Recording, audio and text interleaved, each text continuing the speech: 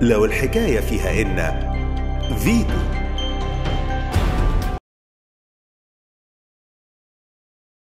يبقى خالي.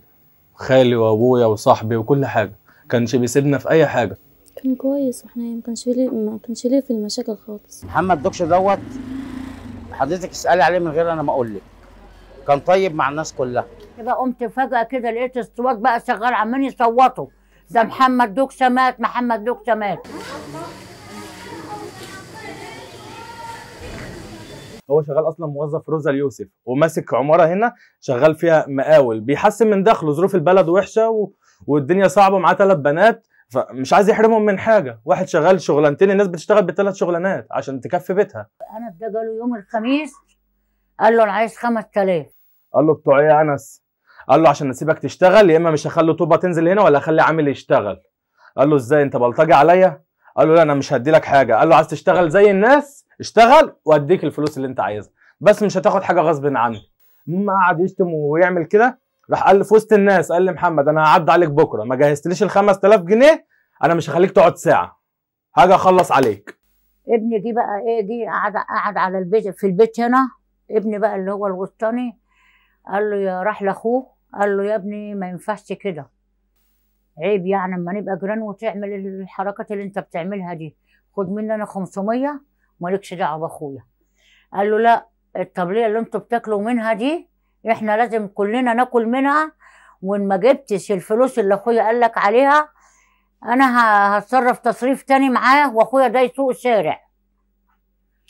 خلاص ابني لما رد عليه وقال له كده راح سايبه وجه.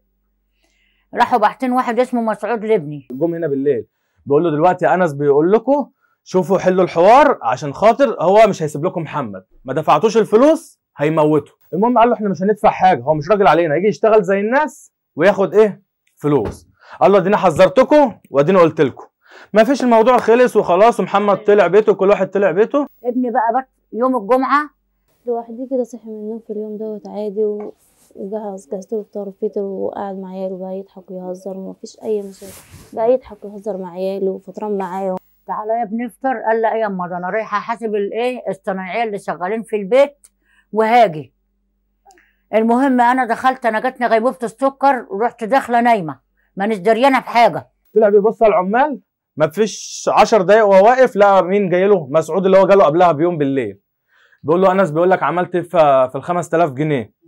راح رد عليه قال له أنا ما أشوفش وشك هنا تاني أنا مش هدي لحد فلوس غصب عني ما تجيليش هنا تاني. قال له يعني مش هتدفع لو ما دفعتش انس هيجي يخلص معاك بنفس الأسلوب.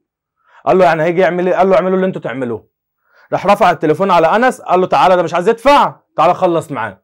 مفيش دقيقة أنس ده كان جاي داخل بالمطوة عايز يداله فين؟ في بطنه.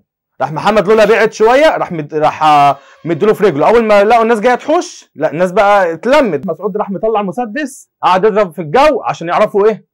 يجروا. محمد كان واقع في الأرض. والدنيا غرقت دم. مفيش لحظة وسمعنا صوت. إحنا نزلت آه، قالوا ده تعور وجري بقى على المستشفى. مات إزاي؟ قالوا ده أنا ضربه بالمطوة في وركه قطع له شريان قلبه ومجي وجري.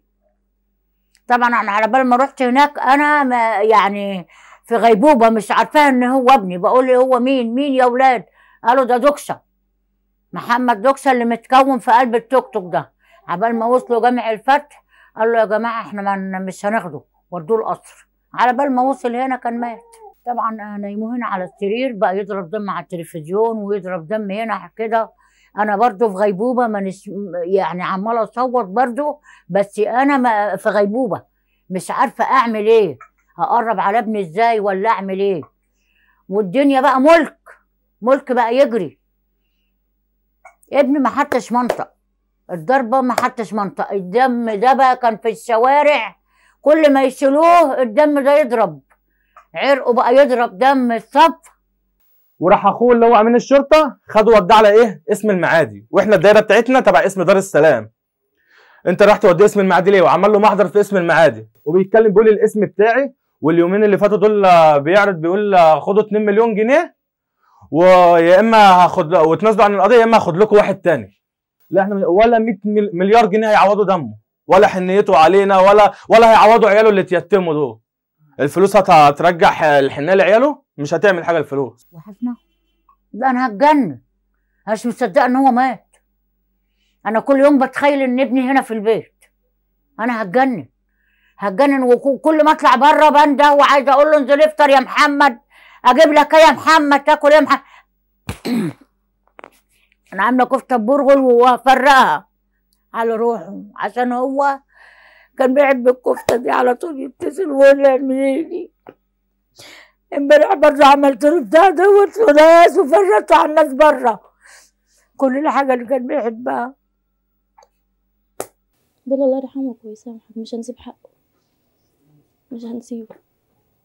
لولا في الزمن ما كنتش خليت له الشقة لو قدامي هحضنه مش هخليه يتحرك ولا يعمل أي حاجة هفضل واقف في ظهره.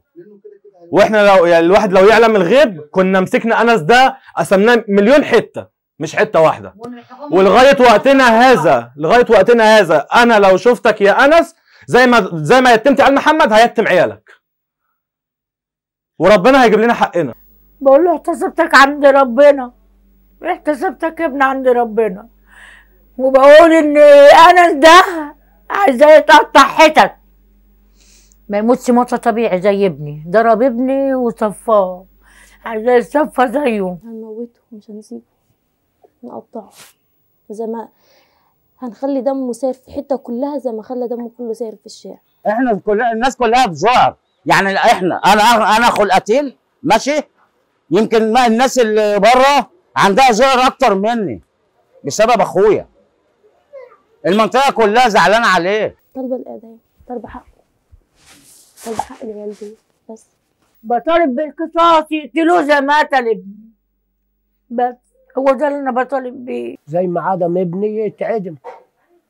مش طالبين حاجة إلا زيادة عن كده. أما نشوفه كده يتعدم كده هنستريح. لأن دلوقتي ما خدناش عزا. إن كلامي ده يروح للنائب العام. الكلام ده يروح للنائب العام ويوصلوه للسيسي علشان الشباب كلها بتموت هنا. وبيغتصبوا الحريم الكبيرة وبيضربوهم ويموتوهم. كل الكلام دوت في المنطقة. ما ينفعش ما ينفعش. ولا بشوف النوم الأم اللي أنت شايفاها دي. حتى الحتة اللي هو مات فيها الناس بيضوها و... وعملوا فيها زرع و- وخلوها نظيفة بره. وناس جابت كولدير وناس علقت له صور في الشارع. الناس كلها بتحبه هنا في المنطقة. فيتو